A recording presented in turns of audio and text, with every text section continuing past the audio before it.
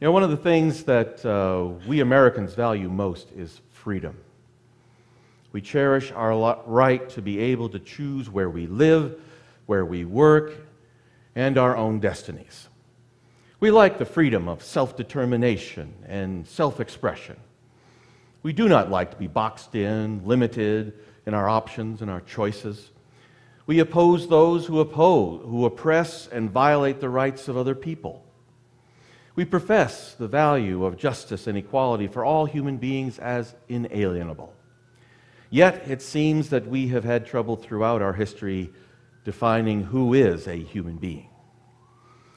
On this Native American Ministries Sunday, we focus on those whose ancestors were already living in this land for thousands of years before the European settlers came to these shores.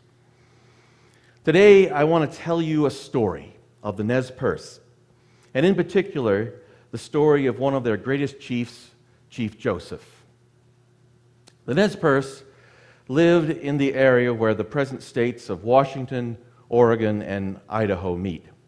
And ever since Lewis and Clark met them, the Nez Perce won the respect and even admiration of the whites who encountered them. They were a strong and hardy people who were friendly and peace loving. In the early 1800s, white trappers and missionaries met the Nez Perce and befriended them. Many Nez Perce were converted to Christianity and adopted European names. One such person, who lived in the Wallowa Valley, uh, converted and changed his name to Joseph. In 1832, this chief Joseph had a son whom he also named Joseph. His Indian name was Thunder Rolling Down the Mountains. Over the years, both of them watched as more and more white settlers moved into their ancestral lands. The white people thought that the land was their own, and hostilities became more and more frequent and intense. A treaty was finally signed in 1855, giving the Nez Perce 7.4 million acres of land. When white interlopers found gold in Indian territory a few years later, however, the treaty was ignored and white people poured into the reservation. And then, instead of honoring the treaty of 1855, the government officials proposed placing the Nez Perce on a smaller tract of land. The Nez Perce who lived within the new boundaries signed the new treaty, but two thirds of the nation who would, not, would have to be moved voted against the treaty. For a number of years, the situation was unresolved. White settlers continued to take land, but the Nez Perce allowed them to do so without outright conflict. But sometimes the settlers would injure or kill a Nez Perce, and the Indians would then retaliate. In 1871, old Joseph died, and his son, young Joseph, became chief in the Wallowa Valley. Soon thereafter, white settlers began invading the valley. For six difficult years, Chief Joseph struggled to keep the peace, but the white settlers became more and more aggressive. And although initially siding with the Nez Perce, eventually President Grant reluctantly bowed to political pressure and ordered all of the Nez Perce to be confined to the new reservation boundaries, uh, whether they had signed the treaty or not. Many of the Nez Perce called for war, but Chief Joseph convinced them that war would only lead to their destruction. So they made preparations to move to the new reservation. It seemed that war had been avoided as the people moved out of their ancestral lands. But a band of young Nez Perce bent on revenge for the killing of one of their fathers, raided white homes and killed over a dozen settlers. Tensions quickly erupted into outright war. Chief Joseph had urged for peace once again, but the consensus of the tribe was fixed on conflict. The United States Army was sent to subdue the Nez Perce and to force them to the new reservation. But Chief Joseph knew that hostilities would not end even if they went to the new reservation. He knew that his people needed to find their own home. And thus began the greatest retreat in American history 1,200 miles as the Nez Perce searched for a new home while being pursued by the army. The Nez Perce were fierce warriors and used tactics which surprised the white military. They outright won or fended off a force four times their number in four battles and several skirmishes. They fought at Whitebird Canyon, Clearwater Creek, Big Hole, and Camas Meadows. They outmaneuvered and outpaced a seasoned army, even though they also had to bring along their homes, their families, and their herds. Because of the brilliance and success of the Nez Perce, Chief Joseph was later called the Red Napoleon uh, by the American press. But in reality, Joseph was more a Lincoln than a Napoleon.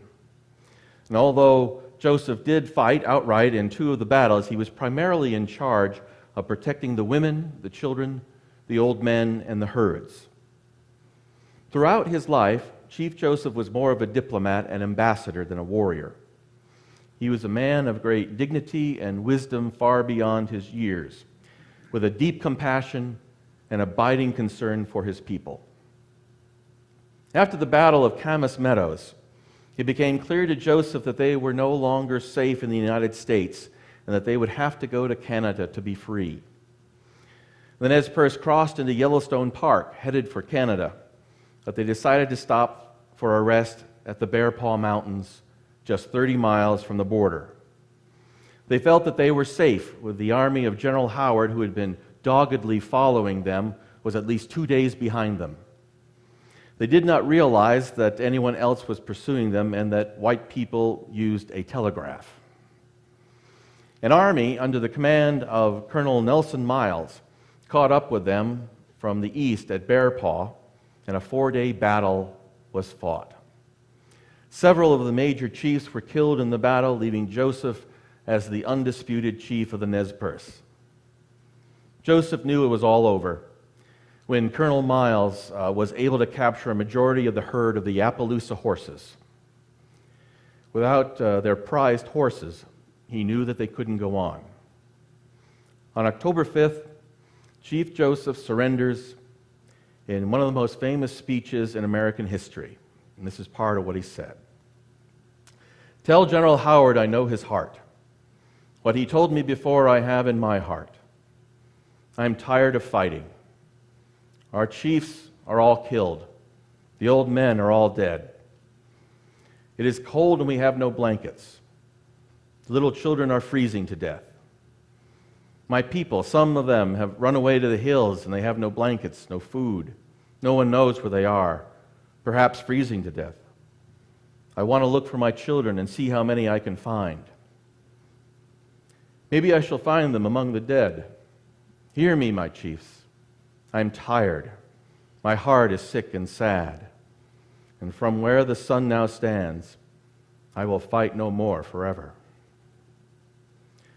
Then Nez Perce had lost their land, their horses, and their freedom.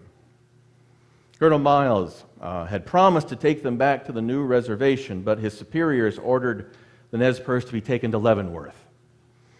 There they were put in a swamp area where many died of malaria. And then they were sent to the oppressive heat and dust of Oklahoma. And although Joseph eventually lived out his final years in Washington state in the Colville Reservation, he never again saw his beloved Wallowa Valley where his parents are buried. Joseph, however, did become a powerful spokesperson for justice for Native Americans, especially his own people, the Nez Perce. But even as well respected as he was, few took any action to help him. His biggest advocates were a colonel, now General Miles, and an aide to General Howard, Lieutenant Erskine Wood. Erskine Wood befriends Joseph. And Wood's teenage son even spends a summer with Chief Joseph and his adopted son. Later, before Joseph dies, young Erskine Wood asks Joseph what he would like for his birthday. Joseph replies, Give me a horse. Well, Wood's confused because Joseph already has many horses. And yet, even as close as Wood was to Joseph, he did not understand that to a Nez Perce, a horse meant freedom. When Joseph was asking for a horse, he was asking for his freedom. Chief Joseph dies on September 21, 1904, in the Colville Reservation. The doctor said, he died from a broken heart. Chief Joseph was a great leader, diplomat, protector, warrior, peacemaker, and spokesperson for justice. He was not only one of the greatest Native Americans who ever lived, he is one of the greatest Americans who ever lived. He was an advocate for the most precious of American values freedom and justice. So, why do I tell you this story? To remind ourselves of those American values. I tell it because the story of the Nez Perce and Chief Joseph is our story. It is part of our American heritage and our history.